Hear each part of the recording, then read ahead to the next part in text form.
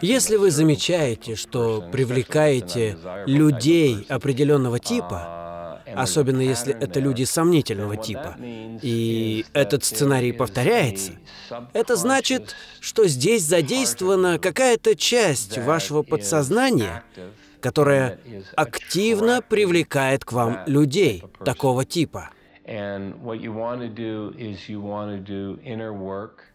В этом случае вам необходимо проделать внутреннюю работу с подсознанием и спросить себя, что во мне такого, что продолжает притягивать людей этого типа? Почему я их притягиваю?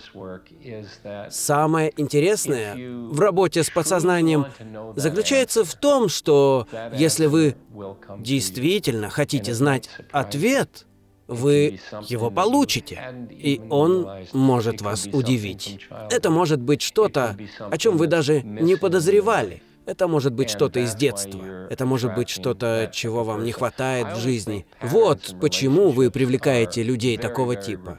Я считаю, что повторяющиеся сценарии в отношениях позволяют понять очень многое. Вот что они нам говорят. Мне нужен какой-то сдвиг. Что-то во мне хочет быть замеченным. Что-то нуждается в изменении. Что-то требует внимания. И поэтому я привлекаю людей этого типа. Когда вы проведете такую внутреннюю работу, вы это увидите. А когда вы это увидите, сам факт осознания поможет изменить ситуацию.